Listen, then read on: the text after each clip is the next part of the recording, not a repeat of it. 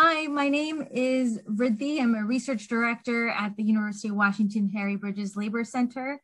We welcome you to the Power in a Pension Forum.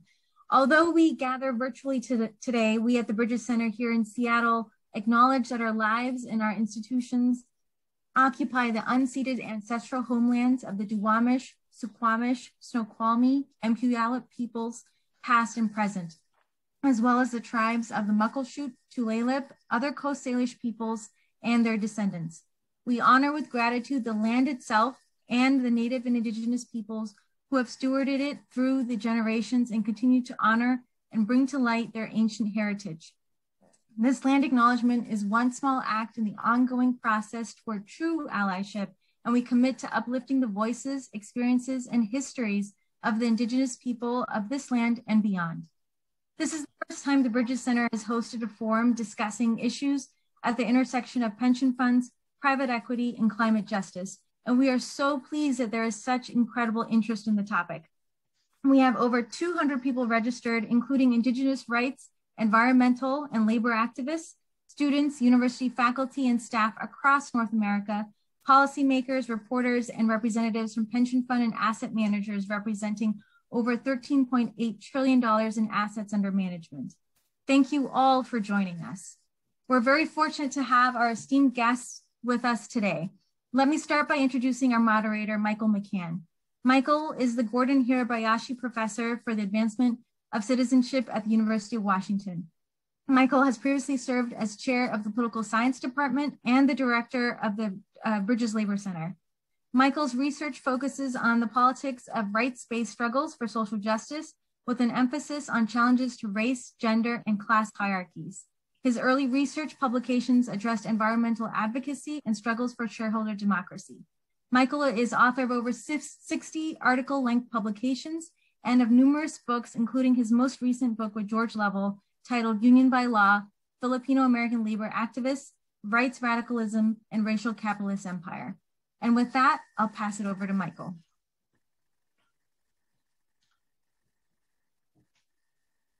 Thank you, Riddhi. Thanks for inviting me, and thank you so much for your vision, your commitment, your diligence, and your superb organizing efforts to make this event happen. This wouldn't be happening without you. You would dispute that climate change is here and is causing a wide range of impacts on everyone, particularly those who are most marginalized in our societies.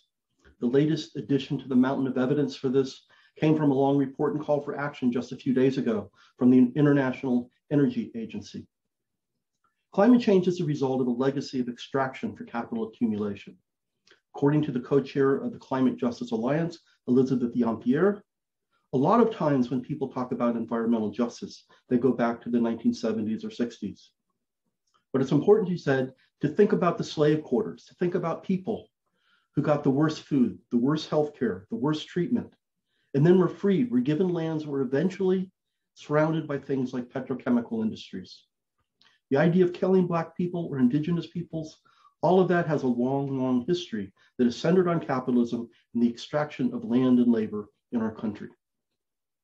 The University of Washington's Harry Bridges Center for Labor Studies has a long history of studying the intersections of race and labor. As such, I'm very proud to be part of this esteemed panel to continue the discussion and interrogate how the labor movement's retirement capital, or rather public pension fund capital, is tied to advancing climate change, particularly through private equity.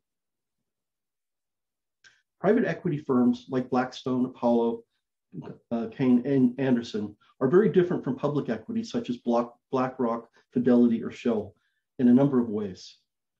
First, private equity firms are subject to far less scrutiny from regulatory agencies like the Securities and Exchange Commission. Unlike public equity, private equity firms are not legally obligated to public disclosure.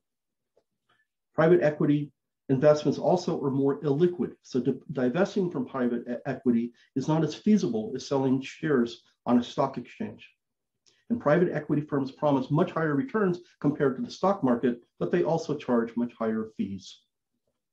Although private equity firms have invested billions in fossil fuels using public pension fund capital over recent decades, environmental and labor activists have not interrogated the climate impacts of private equity firms in the same ways they have investigated, interrogated public companies such as Exxon, Shell, and uh, and its financial backers such as Wells Fargo, BlackRock, or Fidelity. Today's conversation will provide us all an opportunity to learn from some of the successes pension fund trustees and environmental activists have had in public markets. And we will also learn about the role private equity plays in the energy industry. Together, I hope that we will learn what we learn will fuel further discussions and new ideas for helping us realize a clean energy future. To help us do that, we're fortunate to have a panel of environmental and indigenous rights leaders and activists, labor affiliated trustees from Canada and the United States, and a private equity expert. Together, they will shed light on the impact of private equity's fossil fuel investments on marginalized communities, the environment, and investors. And they will also highlight some successful strategies that enable environmental activists and pension fund trustees to advocate for clean energy investments while upholding the fund's fiduciary duty to its beneficiaries. My role as moderator is first to introduce each of our five invited speakers who will talk from five to 10 minutes. When they're done, I will pose several questions to them that, they have, that have been previously distributed for responses and discussion. Along the way, I invite everyone in the audience to submit questions at any time during the event using the Zoom chat function or the, the Q&A function. Chats will be read only by our panelists and staff but we will um, select some and, and make sure that we get some full answers. Okay, so let's get going. We begin, our first speaker is Alyssa Giacchino. Alyssa is the climate director at the Private Equity Stakeholder Project, nonprofit working to engage investors and communities around the impacts of private equity investments. She has experience as an advocate and researcher on climate policy, worker justice, and capital stewardship. She has previously worked for the United Auto Workers, Unite Here, and Service Employees International Union. Welcome, Alyssa. Thank you so much. Uh, I'm really honored to share this virtual stage with these remarkable panelists, and thanks to the University of Washington Labor Center for hosting this important conversation. Uh, globally, private equity firms manage $7.5 trillion, which is expected to grow substantially in the next few years. Private equity firms have invested billions across the fossil fuel industry, including pipelines, LNG export terminals, coal plants, fracking, and drilling. Due to the private equity industry's lack of regulatory oversight and general opacity, the climate impacts of these substantial fossil fuel holdings haven't been subjected to adequate scrutiny. We are facing a growing climate crisis where our actions today will determine our fate. To quote Ugandan climate activist Vanessa Nakate, there is no future in the fossil fuel industry, and we cannot drink oil. Meaningful reductions in carbon are vital for each and every year of the next decade to carve a 1.5 degree pathway, as science and the IPCC have confirmed. And of course, communities of color and the global poor are already shouldering the burden of our past inaction. This is a moment of urgent opportunity. The US has rejoined the Paris Climate Agreement, affirmed a goal of cutting emissions in half by 2030. We need continued political will to strengthen environmental regulations and push for scrutiny and accountability for fossil fuel companies across the entire value chain. There is tremendous work on companies operating in the public markets by activists and shareholders to mitigate climate in impacts. But there is a universe of economic actors outside of the public markets, like private equity, that are finding buying opportunities in assets shed by publicly traded companies. Politico recently wrote that utilities, oil producers, and others, in their bid to meet investor and societal demands, are simply shifting plants, pipelines, and other polluting assets to private firms that are less accountable. For example, private equity firms have scooped up coal plants, prolonging their usage, even as utilities have shed them to meet demands from shareholders. Fossil fuel investments have performed poorly for private equities investors for a long time, long before the COVID pandemic's impacts on oil pricing and market demand. The majority of energy funds have lost money over the last decade.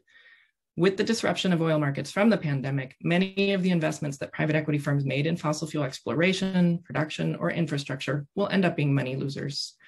At the same time, the heavy debt load resulted in private equity backed oil and gas companies dominating the unusually high number of bankruptcies in the sector in 2020. Yet, despite the writing on the wall, private equity firms are still investing in fossil fuels across the spectrum. Absent pressure and real accountability, private funds managers will continue to invest institutional investors' capital in oil and gas despite the risks. The private equity industry is quite adept at marketing for ESG, environmental, social, and governance issues, but there is a chasm between rhetoric and reality. A recent survey of private equity managers by PwC found that although firms increasingly claim to incorporate ESG into their strategic thinking, 47% have not taken any work in understanding the climate risk exposure of their portfolios. There are many examples of major recent private equity deals buying fossil fuel assets, and very noticeably, investing to expand and operate pipelines. EIG's $12 billion deal to buy Saudi Arabia's pipelines, Blackstone's $6.3 billion acquisition of Tallgrass Energy, Warburg Pincus buying Delta Main, Mid, Midstream, Carlyle buying gas fired power plants, refineries, and oil exploration companies, Let's talk about KKR as one example. One of the largest private equity firms with $250 billion in assets under management. We are privileged to have Slato in the conversation today who will help us understand the impacts of KKR's problematic investment in the Coastal GasLink pipeline. Coastal GasLink is one of dozens of fossil fuel investments in KKR's extensive energy portfolio. Just last month, KKR entered a $3.4 billion deal to buy Sempra Energy infrastructure. It entered a $4 billion deal with the Abu Dhabi National Oil Company's pipelines in 2019. KKR also owns fossil fuel companies in South Texas and New Mexico, where the majority Latino communities are exposed to polluted air and water. KKR's energy and natural resources funds have suffered significant negative returns. KKR's 2010 Natural Resources Fund reported a net IRR of negative 28%, and its 2013 Energy and Income Growth Fund 1 posted a negative 5% as of the end of last year. At least three of KKR's fossil fuel investments have gone bankrupt, including the Longview coal power coal plant that filed for bankruptcy in April of 2020. You'll hear more from Molly in a few minutes. KKR's portfolio gives compelling examples of why private equity firms need to be accountable and transparent about their holdings and climate impacts. In order to hold firms across the private equity industry accountable, investors, like public pension funds, need to demand more now. Just yesterday, uh, the International Energy Agency released the world's first comprehensive study of how to transition to net zero energy system by 2050 and presented a narrow but still achievable pathway to get us all to that goal. They recommend that from today, there should be no investment in new fossil fuel supply projects, including both oil and gas. Um, and no further investment in unabated coal plants. At the Private Equity Stakeholder Project, we have been demanding that private equity managers publicly disclose the direct and indirect environmental impacts of their current holdings. The public needs this information to hold them accountable for their impacts on the environment and on marginalized communities. They should commit to transition their portfolios away from fossil fuels no later than 2030, not 2040, not 2050, 2030, that transition should be just and equitable for the workforces and communities impacted by their investments. And they should align all political spending, including by executives and portfolio companies, with a 1.5 degree scenario. Investors and stakeholders have a critical role to play in calling on private equity managers to take responsibility for their contributions to climate change and moving on to a sustainable path. Regulators also have a role. The SEC is inviting public input on how to mandate climate disclosures. It's important that private equity firms, which are very lightly regulated by the SEC, be held to the same standards as publicly traded companies. From our work, we know that asset managers by themselves won't do the right thing. We as stakeholders know that there is no short term or long term future in fossil fuels. It's time for private equity asset managers and their investors to recognize the writing on the wall, take advantage of the opportunities to transition to a clean energy future now. Thank you.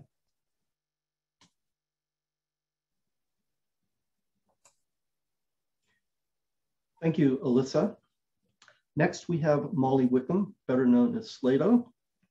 Slato is the spokesperson for the Gidimt'en checkpoint on Wet'suwet'en territory, she has been living on and occupying the territory since 2014 with her husband and children. Gidimt'en Checkpoint an, has been an indigenous reoccupation site since 2018 and has been raided twice by the militarized Royal Canadian Mounted Police as a result of grassroots resistance to the private equity owned Coastal GasLink pipeline project, which would transport frack gas from northeastern British Columbia to the coast. Molly has a master's degree in Indigenous governance from the University of Victoria and is heavily involved in the Wet'suwet'en clan governance system. Welcome, Slato. Hadi uh, Sydney Gidimt'en Hesley Wet'suwet'en Isden. Uh, thank you so much for having me on the panel. Uh, my name I hold in Grizzly House of the Wet'suwet'en, uh, Slato. I'm one of the supporting chiefs within our clan governance system. And I want to talk a little bit about uh, the Coastal GasLink project today. Um, it's a 670 kilometer frac gas pipeline planning to feed LNG Canada's liquefaction and export facility on the coast. Um, it's dependent on power from the Site C Dam, as well as burning their own fracked gas at the LNG terminal, which is a huge carbon emitter. Um, Coastal GasLink project is estimated to release up to three and a half megatons of CO2 per year, approximately 5.5% of BC's and 0.5% of Canada's total emissions. Um, the owners and investors of this project, uh, like previously talked about, are KKR and AIMCo, which share 65% of the shares of this company. TC Energy, formerly TransCanada, owns 35%, and they're funded by major Canadian banks such as RBC, Bank of Montreal, CIBC, Scotiabank, and TD, as well as US banks um, such as JP Morgan Chase, and international banks in Australia, China, and Japan. So Coastal GasLink has failed to can to gain free, prior, and informed consent from the proper title holders of this territory.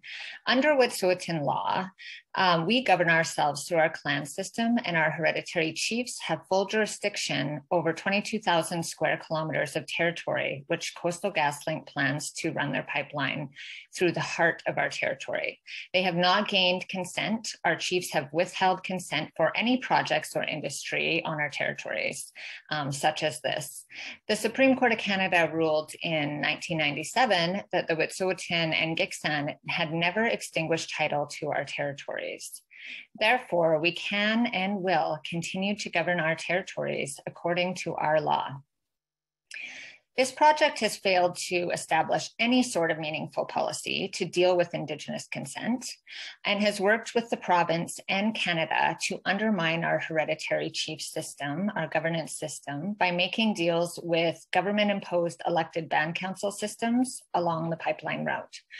These systems the band council systems were put in place to eliminate true Wet'suwet'en governance systems, which control Wet'suwet'en land. This was very purposeful and it continues on today with the provincial and the federal governments um, in hand in hand with industries like fossil fuel pipelines. As a result of not gaining consent, um, and not having proper policies to deal with Indigenous consent, uh, we have seen unprecedented resistance within our territories. We are upholding our Wet'suwet'en law by any means necessary. In 2010, the Unistoten, one of the five clans of the Wet'suwet'en, began occupying their territory and have since blocked pipelines and other industries out of their territories and have built a multi-million dollar healing center on their territory. In 2018, Gidimt'en clan established a checkpoint to control access to pipeline workers, which resulted in two militarized raids on our territories and our people in 2019 and 2020. Another clan of the Wet'suwet'en, the Laksamatsiu, have also reoccupied their territories along the pipeline route. All of these occupations still exist. And despite a Supreme Court injunction, the Wet'suwet'en um, continue to follow our laws and resist this pipeline, both in the courts and on the ground through direct action. We are forcing change through direct action and grassroots resistance. In the winter and spring of 2020, supporters and allies shut down major Canadian infrastructure during what was dubbed as Shutdown Canada, um, this movement crippled the Canadian economy for months.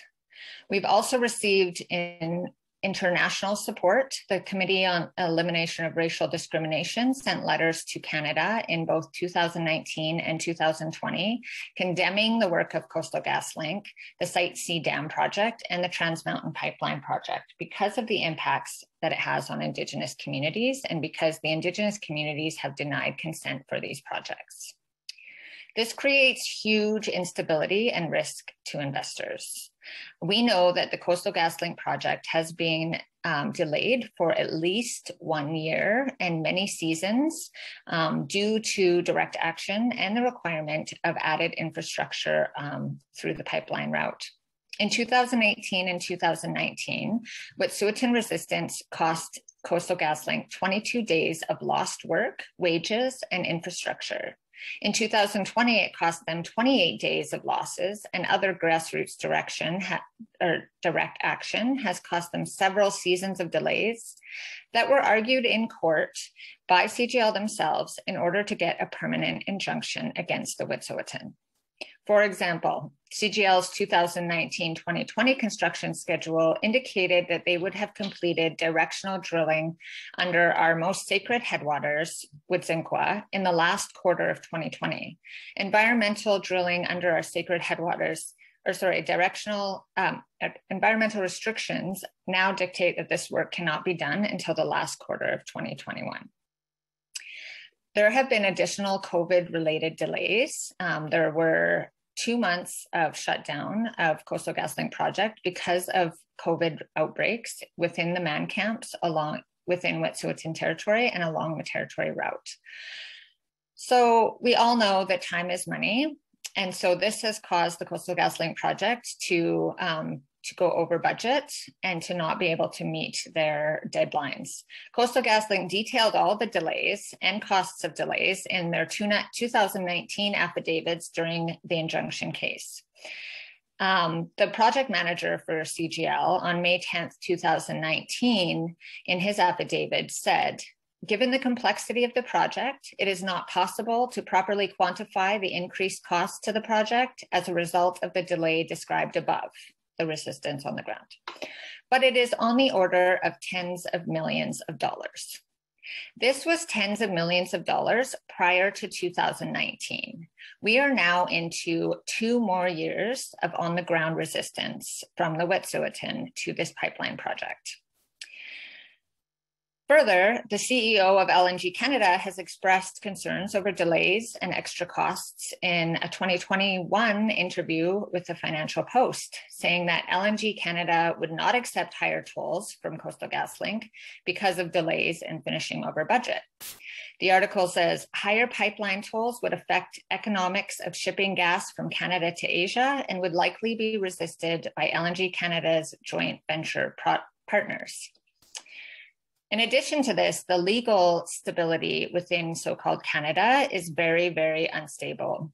Um, the United Nations Declaration of uh, Rights of Indigenous People has been legislated into law within the province of British Columbia and within Canada and affirms free prior informed consent of Indigenous communities, as well as our ability to self-determine our governance system and structures, which includes utilizing our traditional decision-making processes. The Wet'suwet'en hereditary chiefs have, through our traditional decision-making processes, denied consent for this pipeline project or any other pipeline project through our territories. As a result of the blockades in 2019 and 2020, the province and the Canadian government came to the table with the Wet'suwet'en and signed a memorandum of understanding to implement Wet'suwet'en title on 22,000 square kilometers of our territory the province and the federal government have publicly affirmed the power and title of the Wet'suwet'en hereditary chiefs. So regardless of whatever comes out of the discussion, this gives more strength and authority to the Wet'suwet'en under Western law and under Wet'suwet'en law. Further, and one of the most problematic things that's happening with this with this project is that Coastal GasLink plans to run through Wedzin-Kwa and other really unstable terrain. Wedzin-Kwa is our headwaters to our most important watershed and is home to the Pacific coho spawning ground, along with all the other species of salmon that we rely on as a people. This is integral to who we are, to our identity as Wet'suwet'en people. Both the Unistoten Healing Center and the Gidimt'en checkpoint rely on Wedzin-Kwa for our clean drinking water. And if this pipeline goes through, it will destroy our ability to drink the water from our river forever. It will disrupt our salmon populations, which are already under threat because of climate change. Just from the sediment alone, we will never ever be able to feed our children Wedzin-Kwa. We will never be able to drink that water again. Our children and our grandchildren might never ever be able to taste the salmon that is integral to who we are as a nation. This pipeline also plans to cross untouched terrain covered in glaciers and glacier fed lakes and wetlands. Um, within the last two years, there were four senior uh, engineers that resigned from Coastal GasLink because the territories that they plan to go through are so unstable and they don't have a, a good plan in order to be able to successfully do this. These areas are home to grizzly bears, moose, caribou, and a huge population of other animals that have never been exposed to human contact. We know this will have devastating effects on our ability to feed ourselves into the future. Even now, with all the extra traffic in our area, the bears are no longer afraid of humans. Within the last several weeks, we've been approached by numerous bears that appear disoriented, confused, and very aggressive, which has never before been an issue in our territory. This project threatens our water, our livelihoods as Wet'suwet'en people, and the future for our Wet'suwet'en children. We will never stand down and will continue to res resist this project and others like it that do not gain consent from our people. It is a bad investment that will never see the returns that pensioners deserve. Awitsa, Masai. Thank you, Slato. Um, next, we have Eileen Moran. Eileen is a longtime activist in the retiree chapter in the Environmental Justice Working Group of the Professional Staff Congress, a union that represents 30,000 faculty and staff at the City University of New York, which is an affiliate of the American Federation of Teachers. Eileen has worked on PSC campaigns to press its affiliates in New York State, United Teachers, and AFT to support divesting teachers pensions from fossil fuels and urged New York State Comptroller DiNapoli to divest the state's large common retirement system from fossil fuels. Before retiring, Eileen was a research associate at Queens College's Michael Harrington Center and taught in Queens College's sociology department. Welcome, Eileen. Thank you. Um, like others, I appreciate very much being here today, not only to share what my experience or our experiences are trying to divest in New York State, but also to learn from the rest of you um, what the additional challenges will be going forward. So thanks. Um, the size of pension investments gives them power, but it's not an easy power to exercise.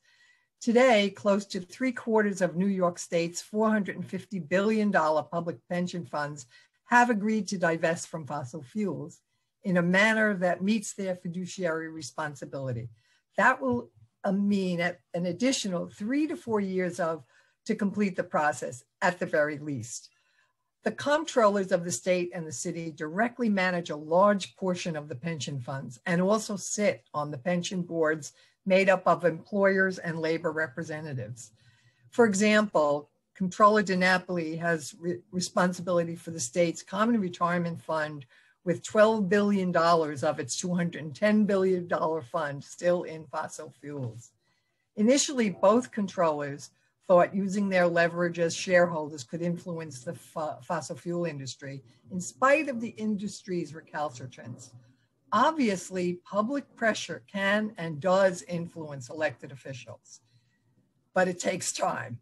It took over eight years and a very broad coalition of environmental activists from 350.org, Food and Water Watch, People's Climate Movement, community and faith groups, um, indigenous groups, and a small number of unions, uh, AFSCME, communication workers, nurses, DC 37 city employees, and PSC inside NYSUT.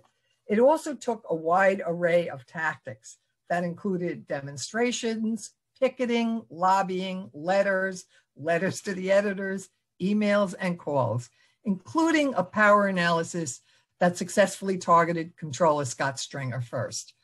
Since September 2014, the huge demonstration at the onset of the UN meetings that led to the Paris Accords in December of 2014, um, that broad coalition that was brought together fortunately persisted. And I think our success is dependent on the fact that that network of unions, community groups, environmental groups hung together over the long haul to keep going on their, um, on their progressive climate uh, environmental justice agenda. In 2018, Comptroller Stringer finally surrendered. Mayor de Blasio and Governor Cuomo all announced their commitment to divest from public uh, pension, to divest their public pensions. The actions by the governor and the mayor are largely symbolic, using their office as a pulpit. Nevertheless, it's significant because it gets media coverage. Um, New York State Comptroller DiNapoli, who oversees the Common Retirement Fund, continued to resist those calls for divestment until now. His change of heart now is because the state legislature is poised to pass a mandate that will require public pensions to divest that the governor will sign, thus bypassing the comptroller's authority over the pension fund, obligating him to implement it. Pension boards and comptrollers do not relish losing their authority of or control over the pension funds. Ironically, TRS, the Teachers Retirement Fund, is the outlier, not yet committed to divest its pension funds, its $120 billion pension fund. It also, it, but it also recognizes the legislative threat that that um, that that law, if passed and then signed by the governor, would have for them.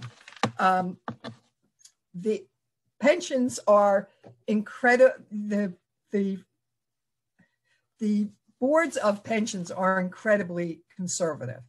They they resist uh, outside influence. I think the members, even the labor representatives, tend to um, defer to what who, who they consider the financial experts on their boards are, and they um, they thereby in a sense, are very resistant. And I think our experience with NYSUT, the PSC and other locals um, developed resolutions to move the union as, as a way of moving the boards of directors. And there's also a group of, um, a, a divestment group that is just targeting both the union as well as targeting those boards the fiduciary responsibility of the boards means that they're focused on protecting the fund, maximizing returns, and minimizing risks.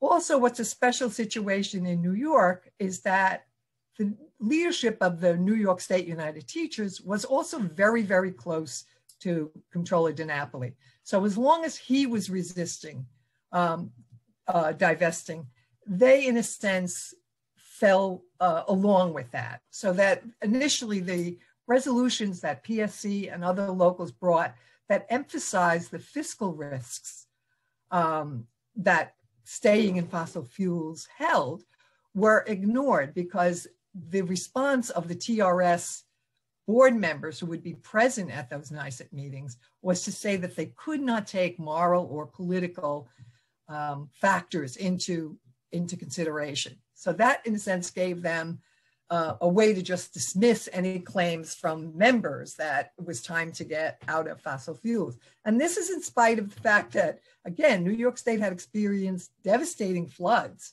in 2011 and 2012, as well as we're all witnessing and seeing every day new reports of new institutions leaving fossil fuel investments.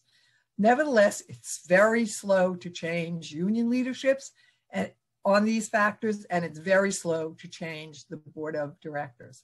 Finally, I think what's happening now is that they are committed to make those changes, even TRS, because I think they are so afraid that the legislation will pass and then they will lose control of their pension funds or lose an aspect of control of their pension funds. Right now, the TRS that is the holdout has $120 billion in pension funds. Um, and uh, and it has not yet officially committed to invest. Um, the the resolutions that union members like mine, you know, like my union and others locals brought were initially defeated. We started in 2015. They were only passed probably on AFT level on a by a, the American Federation FT AFT in 2018 and by us by NYSUT in 2020. So I think that going forward will um, force the the labor members of those boards to acknowledge that that new factor um, and and we will see divestment coming within the year or two but again after they make the decision the fiduciary responsibility means that it'll still take them years to actually execute that uh, removal you know move from fossil fuels to other kinds of investments. Um, I, I, would encourage anybody, and of course, I'm anxious now as, as someone who's still committed to divestment to recognize that now an additional target for us has to be those private equity funds that are, in a sense, behind backstage that we're not seeing, but are still part of our public pensions. And so that long after we successfully implement um, the members' desire to get out of fossil fuels, we'll still be stuck with them because we won't be able to see what's happening um, behind the scenes, so to speak. Um, but again, I would encourage all of us that we what we understand works is public pressure and the coalition that the environmental groups and unions brought together. And again, the resolutions by trying to influence directly public pension funds is obviously only one of the tools in the toolbox and we need to use all of the tools uh, to be successful. But persistence does pay off. And continuously, we're building and expanding the number of activists that are engaged in this work. And of course, union members are also members of other statewide organizations like 350.org and Food and Water Watch. So there's there's a way in which the overlapping memberships increases our power. Thank you. Thank you, Eileen. Next is Paul Finch. Paul is the Treasurer and Chief Financial Officer of the British Columbia Government and Service Employees Union. He's responsible for B BCGEU's ethical investment program and policy on housing affordability and land economics. In 2014, Paul led the effort to divest the union's strike fund and the union's general reserves from fossil fuels. During his career in the civil service, Paul worked primarily in real estate and information technology project management. Paul received his ICD.D designation through the Director's Education Program and Institute of Corporate Directors. Paul actively chairs the pension board and is a trustee on another and acts as the appointing plan sponsor for three pension plans. Welcome, Paul. Uh, thanks a lot, Michael. And I just want to give a shout out to everyone, uh, all the other speakers, and a great great lineup of speakers on this uh, this panel. So real privilege to be here, and, and special thanks to the organizers. Uh, I'm coming to you from Port Moody uh, here in British Columbia, which is the unceded traditional territory of the uh, Tsleil-Waututh and Coquitlam, uh, and where I live is actually uh, a former Tsleil-Waututh village called Sasamut.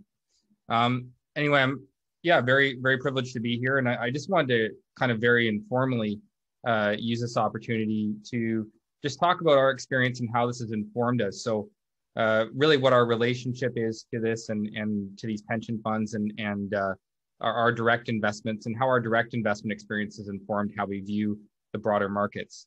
So uh, I first want to start by saying that um, I'm not here speaking on behalf of any of the uh, pension boards I sit on or the Investment Management Corporation for the province of British Columbia, which I also sit on the board of. Uh, and so I'm, I'm here speaking on behalf of my union.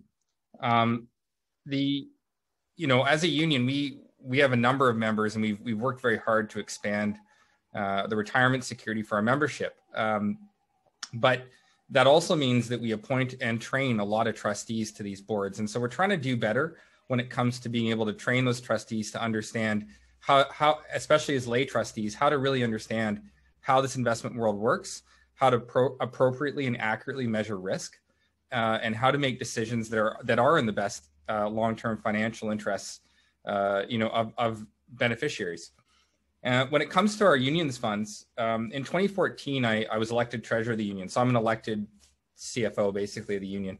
So I was elected treasurer in 2014. And um, one of the things I did was bring to our executive committee, uh, I did a basically a, regressive analysis of kind of the fossil fuel industry in Canada.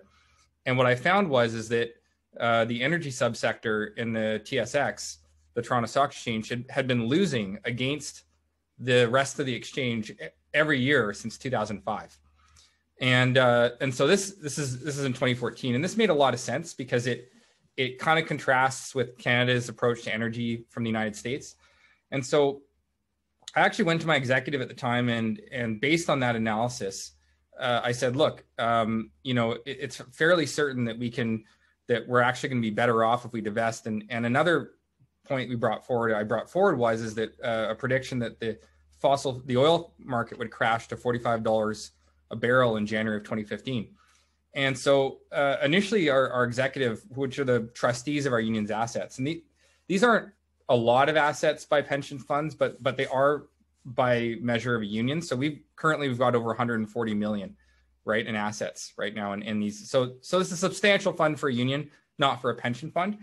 Uh, but our experience taught us a lot of lessons. And so initially, our trustees, uh, and this is probably due to me not making the case properly, but our trustees actually voted down divestment. And it was only when um, I did a bit more education, and then also when oil prices started to go down, uh, as predicted, that uh, I brought back the motion a few months later to our executive committee, and they reversed their decision. Uh, so we were able to. The, the next challenge was we, you know, we were already in a fully divested global equities fund. The next challenge was to divest our Canadian equities, and, and our, our manager actually refused to create a, um, a segregated FFX fund that was actively managed. And so we thought we would have to just go into an index fund. But we wanted the value of active management on top of that restricted uh, group of fossil fuel free funds. And so when I say fossil fuel free, it's free of utilities, free of pipelines, and um, free of energy stocks. And uh, when we did that, uh, we, we actually moved our money out of our Canadian equities provider, and they kind of said to us, "Okay, well, if you put your money back in, we'll we'll create this segregated fund for you." Um, and so we did that, and uh, it's it's been really good. And we what what we learned is is that in the course of doing that, in the course of divesting from fossil fuels, we significantly de-risked our portfolio. And of course, when the oil crash fully happened, uh, we came off very well to our membership because we said, look, we not only did we predict this, but we made we made you millions off of this, and uh, and we did the right ethical thing. And I think that that it, it it comes down to risk management, right? what what I'm finding across the board is that the risks associated with these investments are not being properly analyzed or understood. And, and that's fundamental to this whole thing because what we find is that in our portfolio, our downside risk is only 60% of that of a regular downside risk in a portfolio. And that's almost purely due to us basically cutting out what are these very, very risky categories you, you know and so when we when we analyze kind of the information ratios so that's a measurement of standard deviation on the benchmarks uh, of these investment categories we found that they were they were all not only riskier but had lower returns so it just made absolutely no sense. So i just want to emphasize how well this divestment program in the public equities market has worked out for us. Um, since divestment we've net of fees our unions has has earned 12.5% approximately in the market on average every year right? On top of that the canadian equity firm investment firm that initially refused to create the segregated fund uh, the other year they created a clone fund because it was their best performing fund so they could move other clients into a pooled version of the fund that we created with them so to give you an example it, it's wildly successful and we're actually able to measure quite well what the uh, you know where the where the superior performance comes from. Some of it's from active management. We've also divested our bonds and, and our global equities, obviously from from fossil fuels. But you know what we found across the board is that fundamentally we're just doing much better as a result. And and what we found is is that people if people don't have the tools to properly measure uh, what's happening or measure the markets, then they're not able to make informed decisions in, in the best interest of their members or their beneficiaries. So what how does this relate to the private equity markets? Well, we've you know what we've tried to do is really focus on being able to properly train our trustees with some of these principles that are not out there. So uh, one, there's two main angles I think that need to be understood here. Because first, I want to say everything we did, we did purely on the basis of a fiduciary responsibility to seek the best uh, return at the least risk for our members. And we carry that same that same philosophy into all of the pension work we do as well. And that's why we divested. And so, uh, you know, what we found as as a union is that in a segregated fund, it also allowed us the ability to um, engage, create our own shareholder campaigns. And I know many unions in the United States or international unions, uh, such as Unite Here and SEIU, have excellent shareholder engagement campaigns. This is new, new field for us, but you know what we've been able to do is file shareholder resolutions that we believe will improve the performance of these companies uh, by having them engage in more ethical investments. And so, all of this is to say that this is kind of the tack we've taken around educating our trustees internally as a union about what we've done internally, and this has informed our practice. So when it comes to things like private equity markets, we need to understand, we need to take the lessons that we've learned from divestment in the public equity field, and we need to understand that we need better reporting. Uh, you know, the, it's a it's a cliched statement, but what doesn't get measured doesn't get managed, and we need to better understand what the risk is and we need better measurements of risk and we need less blind trust of agents of boards and agents uh, of investment agents saying oh well no no this is the only way to measure it or this is how it is. We, we need critical thinkers and analysts and we need to appoint more critical thinkers to these boards to under who are equipped and educated with the tools to be able to understand the risks that exist. Because if, if you're so there's two main angles to go at this from which is what i was getting at. One is purely from a fiduciary perspective around what are our obligations, um, you know, or, or you know, to, to, to, measure this risk. And the Canadian Climate Law Initiative, which is partially based out of the University of British Columbia here, has done some excellent work on that. The other side of this is the specific technical measurement of what is the risk, what is the volatility in these asset classes.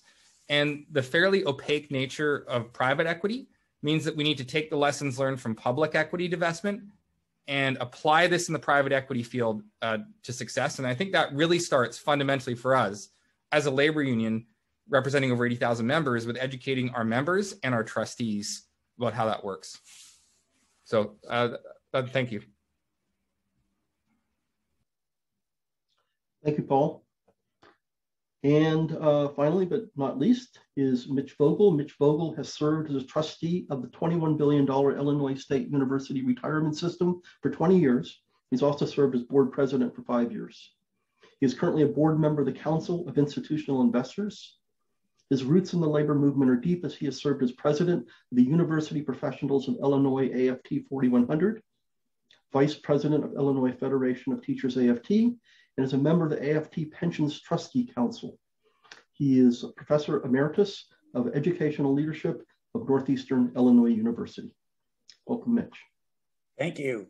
Um, again, like all the other speakers have stated, it is uh, clearly uh, not just an honor, but it's been very educational for me. I've learned a lot from the previous speakers, and I appreciate that. Uh, before I start, I'd like to make two detours. Uh, one is uh, the same that I think Paul just did. I have to state up front that I'm not speaking for my pension board. Um, we have orders from our Attorney General of the state that when we speak, we've got to identify ourselves as speaking for ourselves.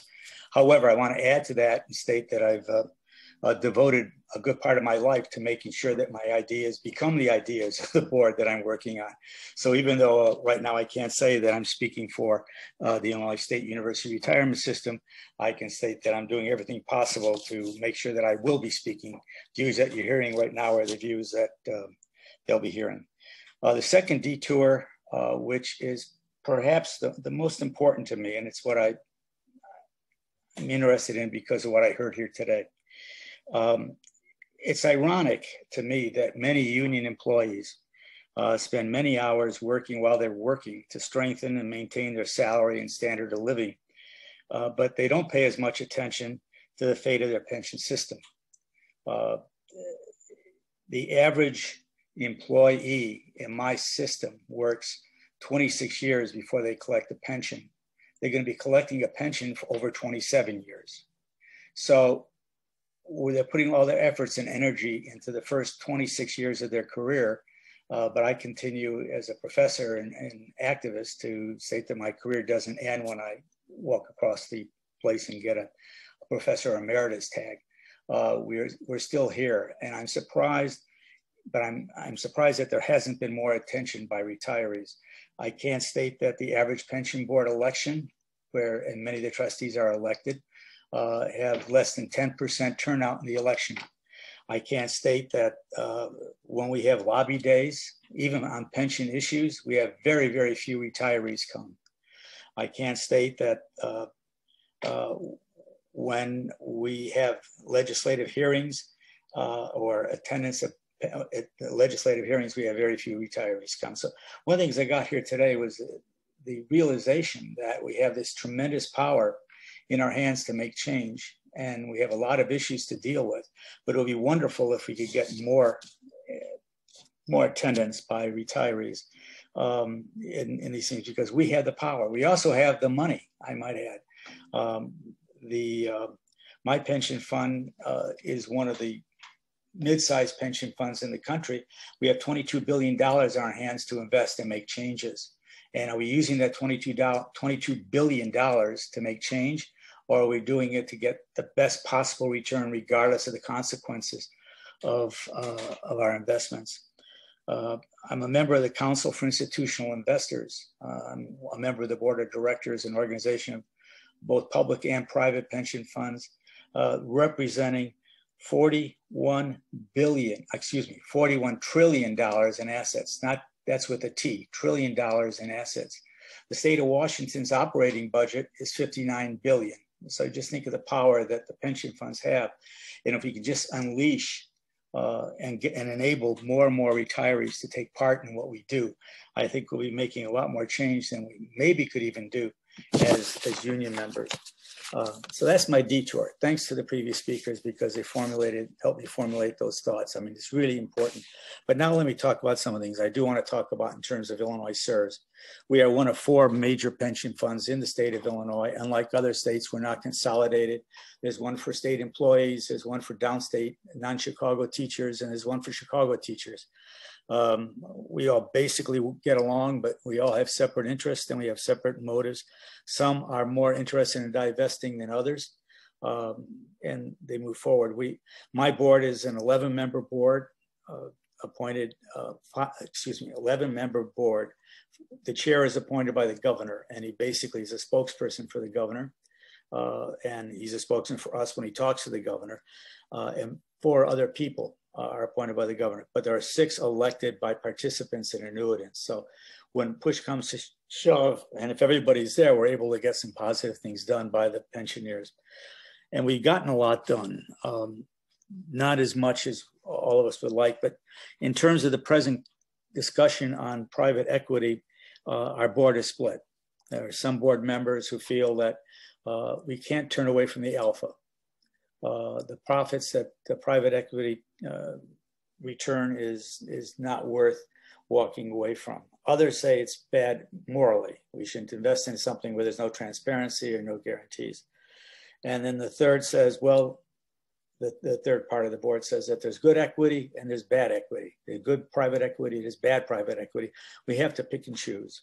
And a couple of examples of that. One, in terms of private equity, we just bought a 75 million dollar uh, package uh, for uh, windmills uh, called the Global Global Renewable Energy Fund, and we got that through BlackRock, who's sitting here. So, if uh, thank you. It seems like a good program. We probably criticize you for a lot of things, but that looks like a good one. That's good private equity. There's also pr bad private equity, and we we move on that. we we bought into a uh, a private equity firm which bought out an old Goodyear plant in southern Illinois, close to St. Louis, uh, promised us great returns.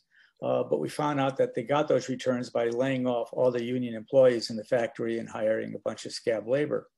Uh, they also were able to uh, get permission from a local mayor who subsequently resigned uh, in their small town to dump a lot of toxic waste into the rivers. So we went to um, our private equity manager and we pulled out of that. It cost us a lot of money uh, because we, you can't leave these funds, which are you, you sign on for five to 15 years uh, without a penalty.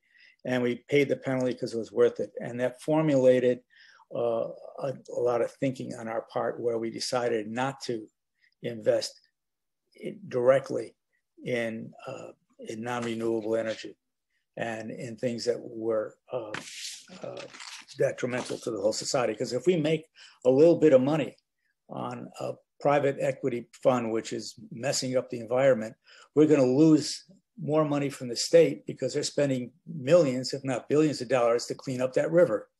River, we, we gain some money uh, each year, about five figures of, you know, not much, ten, twenty thousand dollars. It wasn't a major investment, but we gained that. But we lost when the state came to us and said we don't have as much money to give to pension funds this year because we're doing this, this, this, this. And one of those things is cleaning up the Illinois River.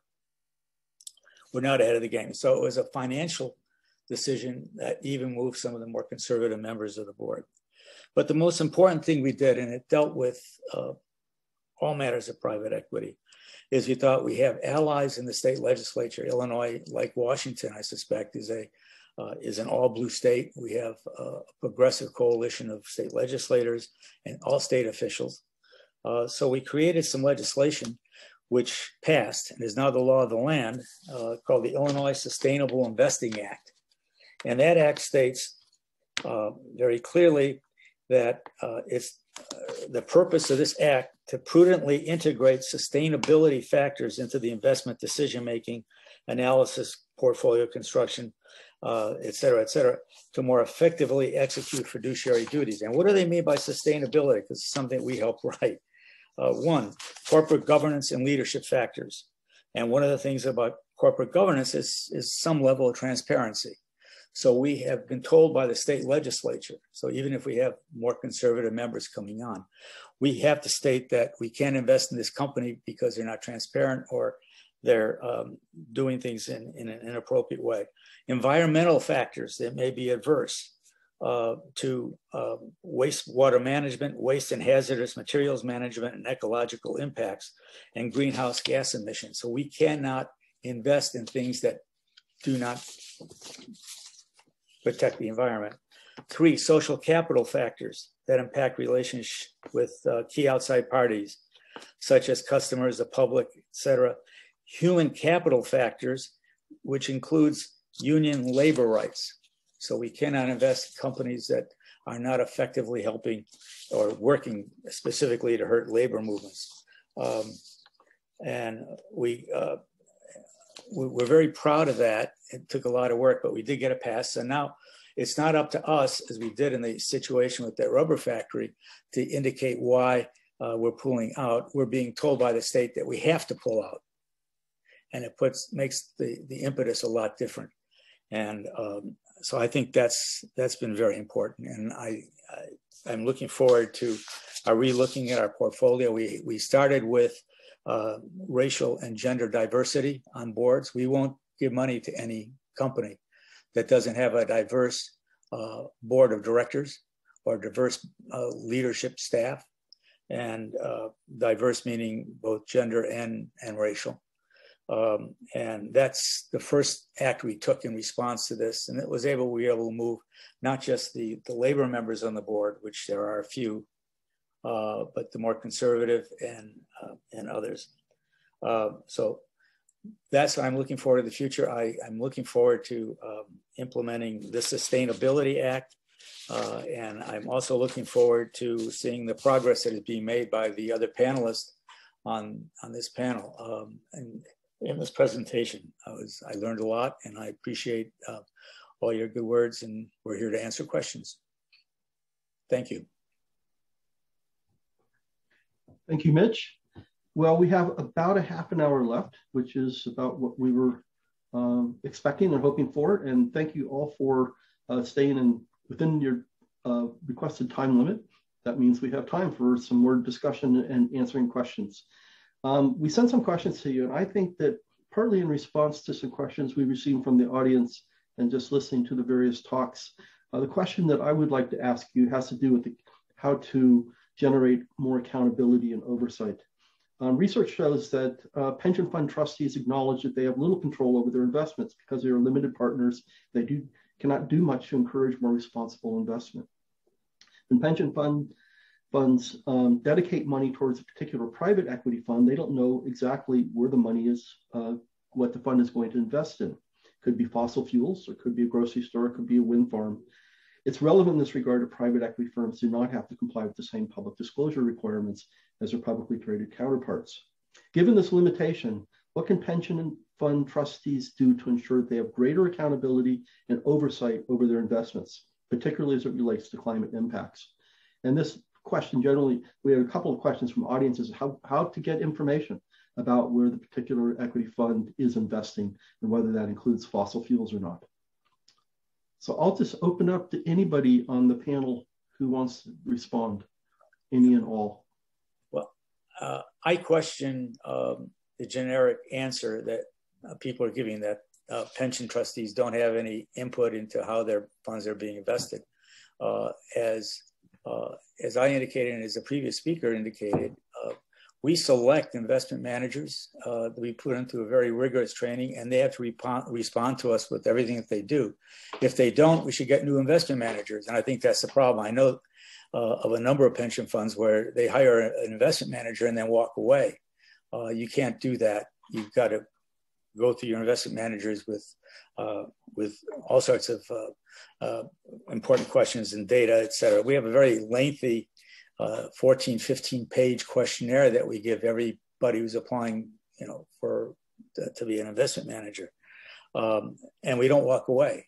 They, they report to us every month uh, or, uh, or more. And we have watch lists and other things. If we don't like the answers, we put them on a watch list and uh, we, we've been known to get rid of pension uh, investment managers before the time is up. And we will continue to do that. You got to be vigilant.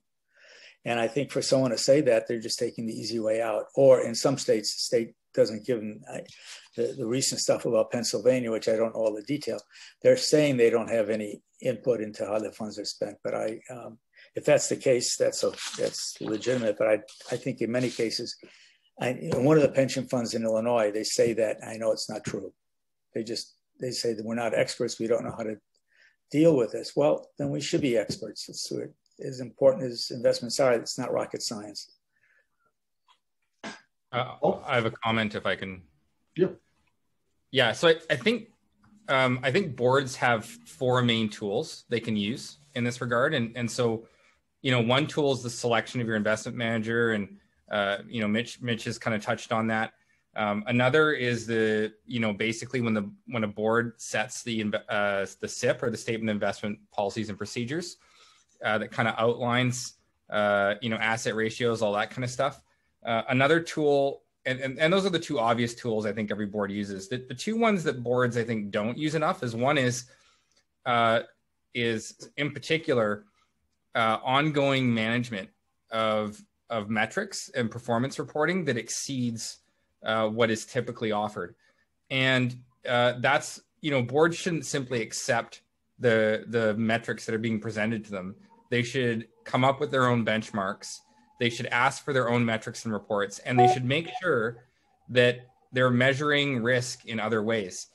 And you know that the, the other side of it is, is is boards should have responsible investment committees because there's a serious ongoing reputational risk um, you know associated with a lot of this that that is overlooked uh, you know and in particular if you um, you know Sleydo' had some excellent comments about some risks that exist, you know, in in in, in an investment there uh, that you wouldn't necessarily see if you were just looking at a performance against a benchmark as part of a broader asset category, right? So so those these are these are tools that boards need to pick up on and need to start utilizing. And one of the tools that a board can especially use is a negative screen. And, and I don't see this a lot, but um, oftentimes it makes a lot more sense to simply implement a negative screen for an asset or an asset subclass than it may than to simply switch out managers, right? Um, sometimes you you basically want to say screen XYZ out. And I think that's an important tool. Again, we have a lot of educational work to do with boards because oftentimes trustees may lack the confidence to make the decisions in the best interest of their beneficiaries.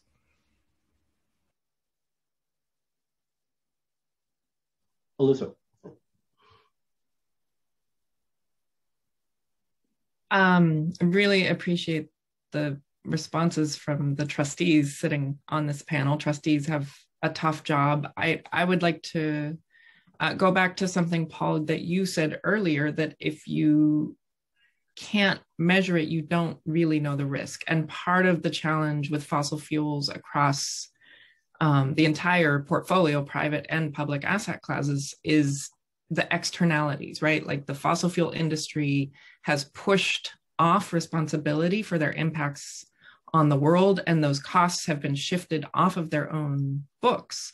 But society is paying the price. And so I, I do think, and Mitch, you gave an example of that as well, right? Where an investment may have been profitable, but it cost the state in cleanup. And so the net is a loss for everyone, um, for the environment, for the community, and for the state.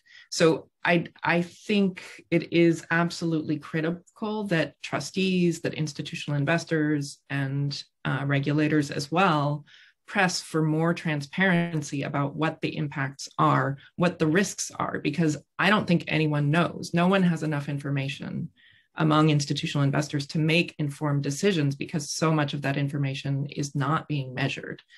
Uh, so I, I do think this is a moment to call for that. And, and I will note that while the private equity industry doesn't have regulatory obligations to disclose at this moment, um, we hope that the SEC will uh, see the need to, to uh, require more disclosure, both from publicly traded and private managers. Um, but even without that, the industry voluntarily has adopted ESG policies. They write ESG reports, the private equity industry it's very subjective. But the reason that that exists is because institutional investors have requested it over the years and, and subject them to questionnaires, such as what Mitch described when they're in the due diligence process of committing to a fund. So that creates an enormous opportunity for institutional, institutional investors to request or require, in order to make a commitment, that managers lay out their transition plan by 2030, you need to be out of fossil fuels. Here's all of the science that tells us that our economy and our society are at risk if we don't make this shift now. Tell us your plan. What are the incremental benchmarks, right? We need to see what your impacts are. What are your direct and indirect emissions from pipelines, from drilling operations, from offshore uh, Gulf drilling, from uh, um, you know export terminals? You don't have the enough information to make informed decisions at this moment. And so, in order to protect your funds, your fiduciary duty, it's time to demand more of those private funds uh, so that you can make informed decisions and they provide the transparency about how they're both accounting for their contributions to climate change and transitioning in a way that is responsible toward the communities like Sleydo's, and the Wet'suwet'en and other impacted communities, as well as the overall climate impacts.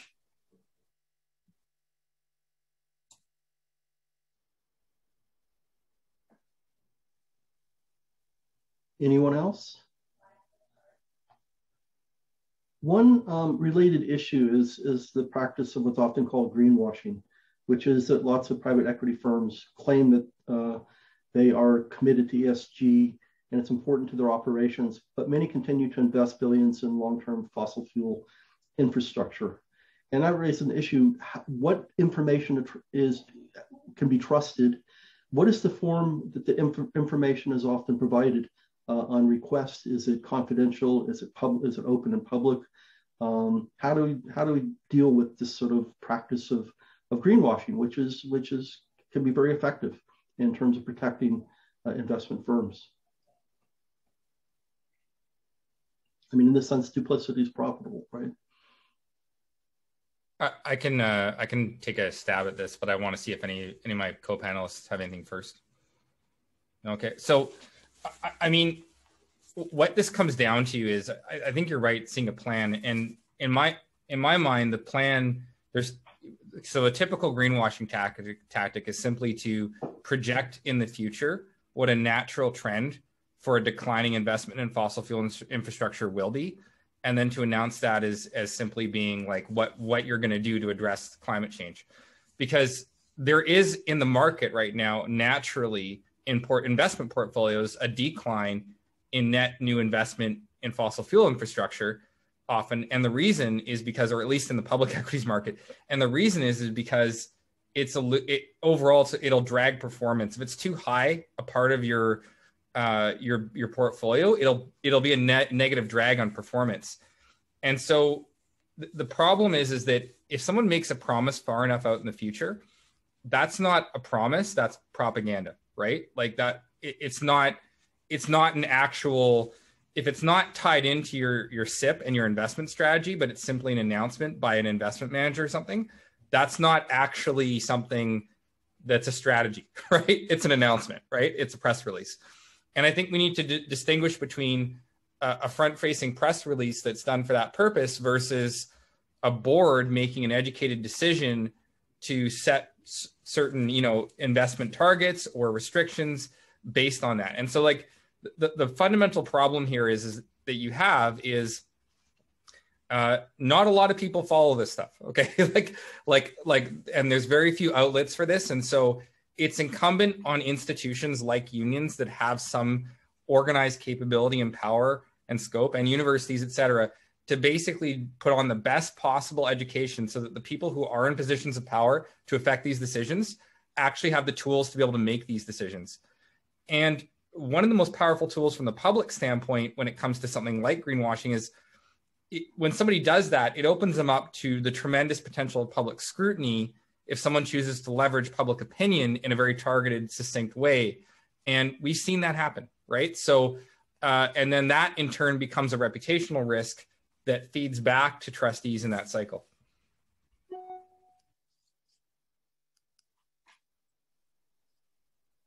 Yeah, let me I think another form of greenwashing happens not now for CUNY, a lot of our members are actually in TIAA as a defined contribution plan.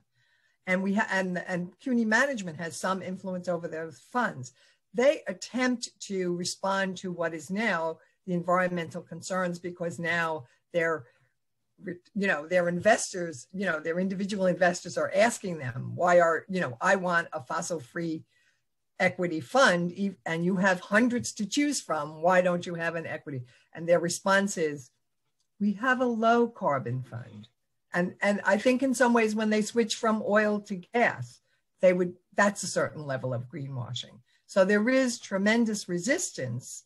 Um, and I think it just requires more, you know, more member resolve to move their money when when that doesn't, when they don't meet the terms that you want to meet and to use the union as well as CUNY managements to press groups like TIAA because they also hold billions and trillions of pension funds. I don't think the answer is any different uh, than what it was for those of us in the union movement uh, had to set up a union. You just we just got to be active and vigilant and and go through the items that Paul and others have mentioned um, in order to stay on top of things. I mean, we just uh, we have this vast army of retirees, and and so I know some of them might be infirmed, but one of the things we learned from the, the pandemic is that we could do Zooms all the time, and people who don't want to go to the state capitol to demonstrate can get on a, a Zoom conference. Uh, we just got to be militant and, and agitate and educate and uh, we'll solve the problem. This, nothing new, uh, nothing new, nothing. We don't have to do anything different. Just do what we've always done, and um, we, and we'll and it's and we're doing it. You know, the fact that people are bothering doing greenwashing means that you know that we've we've pricked something in their in their in their uh, corporate conscience or corporate uh, tactic. Um, so I, you know, I think we're, we're being, the mere fact that they they set up and they're engaging in greenwashing means that we've been effective. We just got to finish the job. That's all. Yeah, I'll add to, uh, I think that I agree with what everybody's saying in terms of um, greenwashing. The same is happening with Indigenous justice um, policies and procedures within companies. Um, and the fact that people have to do their work. You know, we, the Wet'suwet'en sat down with um, JBIC, uh, an international bank investment company from Japan, and had a face to, or had a face-to-face Zoom meeting with them about what is actually going on, because a lot of the indigenous policies, just like the environmental policies within companies, um, require a certain level of um, you know, consent or a certain level of information. And a lot of that is being construed as band council signing on when it's the true sovereign leaders of the nations um, aren't providing consent. And so having those sit down face to face meetings is really important. And that's what we've been striving to do with investors that don't actually, they're not getting the information. We know they're not getting the information. And so we're making an effort to reach out to those investors and give them the information that they're not getting, just to let them know that they're not getting the proper information.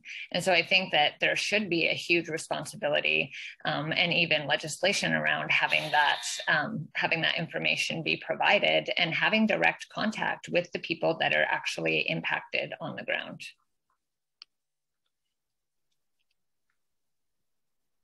Well, can I ask, can you say more about what message you want to send to um, KKR and other public fund, uh, public uh, fund investors?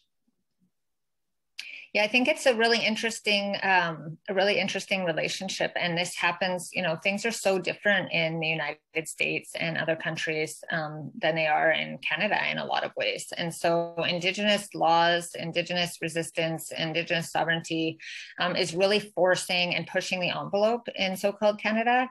And that is something that will not be able to be ignored for a long time. Um, it has been, but we are pushing the boundaries at unprecedented rates. Um, there's international legislation, there's all of these different issues that are coming up, and it's not going to be an option soon to have an indigenous policy. Investors um, aren't just, you know, as the one of the other panelists had mentioned, the fact that people are greenwashing things speaks to the fact that things are changing and they're changing very dramatically and very quickly. And the same goes for indigenous policies um, and the impacts on indigenous communities and indigenous rights. And the fact that in the province of British Columbia, um, there are no treaties. You know, there there are there are a couple, but most of the lands um, in so-called British Columbia are unceded, are sovereign territories. There have never been treaties signed. There aren't agreements with the province, with the federal government. And that's an issue. That's an issue that um, American companies should know about. That's the issue that international companies should know about when they're planning to invest um, on in projects that go through unceded Indigenous territories because those projects will be met with resistance and resistance is growing um, really rapidly in so-called British Columbia and Canada. And it's not something that the governments can turn a blind eye to anymore. And so just you know as as was discussed earlier there are costs to that you know you think that you're you're going to be saving money and you're going to be making money in this investment in Coastal GasLink and then the state is paying millions and millions and millions of dollars um, to deal with the resistance that's happening on the ground. You know, in the 2019 blockade, 2018-19 blockade in Wet'suwet'en territory, um, the first month, you know, the first few months of of action um, cost millions of dollars. The one day raid on Wet'suwet'en territory cost the state $3 million to have all of their um, militarized RCMP, to have the attack dogs, to have the helicopters. This is costing a lot of money, and it's not, uh, people need to know the actual details of what's happening on the ground. Um, that uh, raises, I think, another question or points towards another question, and that is about role for increased government regulation. Uh, it's been mentioned in, by several of you about uh, Securities and Exchange Commission um, looking into increasing public disclosure requirements, looking into ESG related misconduct. Um, what other form, is, are there other uh, types of government action do you think are necessary or could be undertaken that would deal with these issues? Um, I have a quick comment on this. You know, most of the issues that get raised with ethical investing or responsible investing are a result of a lack of proper government regulation. And the frustration point for trustees becomes um, they're being asked to have their pension investments uh, withdraw from profitable investments that others can invest in or to not play by the same rules that everyone else can play by to make money off of those investments. And that's a very difficult thing for trustees uh, that have a fiduciary responsibility to make the highest possible returns at the least risk to do. Right now, you can do that. I'm not saying you can't, but you need to be very careful and deliberate about how you do that in a way that is about preserving the long the in the investment horizon you have the, the best interest of your beneficiaries. And the problem is is that it's up to government regulation to determine that playing field, right? So often what's happening is is the government's refusal to regulate whether it's the housing so i'll give a classic example. People blame rates you know real estate investment trusts for housing prices here. And, and in the states to a certain extent when it's just it's purely due to government regulation. Or similarly in, in the fossil fuels sector um, the amount of uh, you know wells and exploratory stuff that has not been properly cleaned up uh, in some of these territories, um, and including in in Treaty Eight territory here in BC. Right, like you just have tons of situations where it's really hurt these herds going through. It's like caused massive damage to land, and and there's no cleanup because the government reg either the government regulation doesn't exist, or it's improperly or negligently enforced, and that's a huge problem. Right, that's a huge huge problem uh, that needs to be addressed. Alyssa. I mean, I I think I hope that one of the takeaways from this conversation today is that we need both, right? We need institutional investors and trustees to be actively demanding more information and a commitment to transition responsibly away from fossil fuels on the 10 year timeline that science says we need. We also need regulation to support those efforts neither one can take care of it entirely on its own.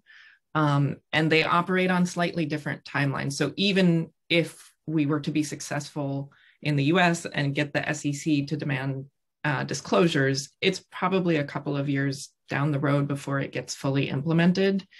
Um, so we need to press for that, but we also need to press for voluntary disclosures now. And institutional investors are the ones that have the leverage to do that should they choose to use it. Um, and you know, we we talked a lot about KKR today. They are one of many. Each individual private equity manager needs to make that commitment on their own um, and not leave it to sort of generic industry wide uh, greenwashing because that has been to date what we've experienced. Um, you know, some number of firms have committed, are signed on to the UN Principles of Responsible Investment. Uh, they've committed to using SASB uh, accounting to measure inside their portfolios, but they're not making any of that information public. So while they claim that it's part of their investment process, nobody really knows what the results are.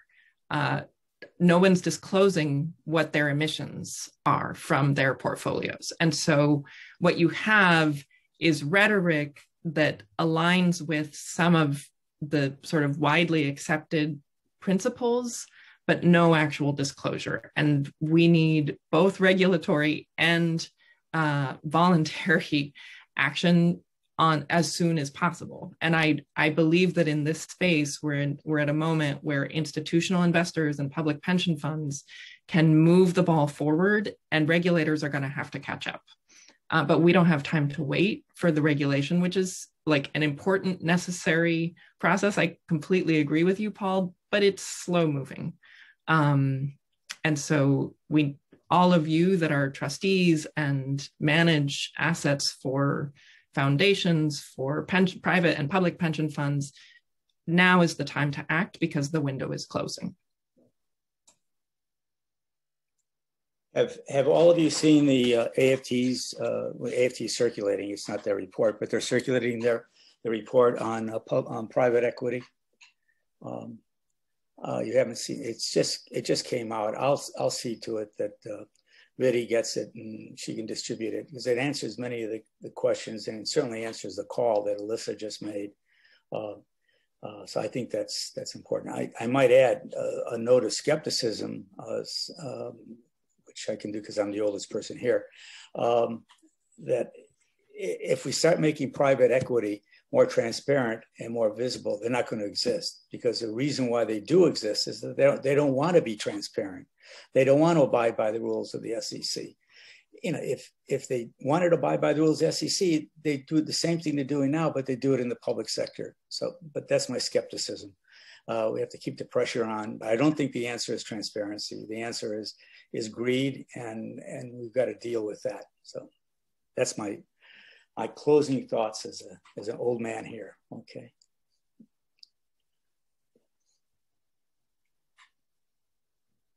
Other thoughts, comments?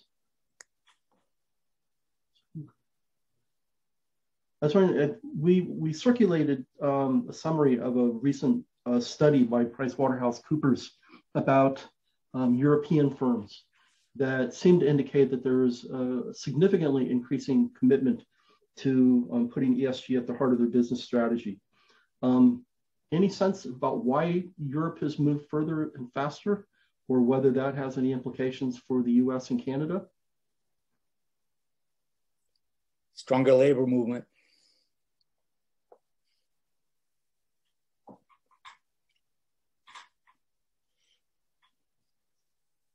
Yeah, I would agree that it is the stronger labor movement, and and also, in other words, I think reminding that pensions uh, investments are supposed to be for the long term, and I think we have to think carefully about, you know, whether it's private equity or other uh, sort of hedge funds that promise big returns but charge use fees. Because one of the studies in New York, there was a question as to whether they should hire managers at all. That if they just invested across across the public funds equally and just hired a city manager at much less at a substantial salary but still much less than the kind of uh, fees that they get from these professional managers the pension fund would end up with more money in it. So so so again we have to be careful. And in some places i think management especially if on the, from the employer side if if they're in a pinch financially, they're willing to risk more thing, you know, a higher risk fund for short returns because they want to avoid having to add to themselves, whether it's the city or the state, et cetera, to the pension fund. But that's what has put pension funds in trouble is the local and state and citywide governments refusing to put in the appropriate amount of money. In New York, that's regulated by law. But in many states that have troubled public pensions, it's because they were able to escape that. And sometimes just skate when there were high returns and not have to worry about it and then cry when there's the cyclical you know recession and all of a sudden they have to put money in. And then they sort of see uh, the pensioners as too well off. And that's their response. So Oops, we lost. I, I would, I would say I, I would agree with um, the, the, comments about the need for a stronger labor movement. I would also say a, a more democratic, internally democratic labor movement. And there's a direct correlation with the internal de- democratization of the labor movement and better outcomes. And uh, we've seen that here. Um, but what I will say, we, have got a long way to go here in Canada. What I will say is, our under the Maple model of joint trusteeship, our pension, our public pension funds, for example, here in Canada, are all in a surplus, a very healthy surplus position, are all well funded.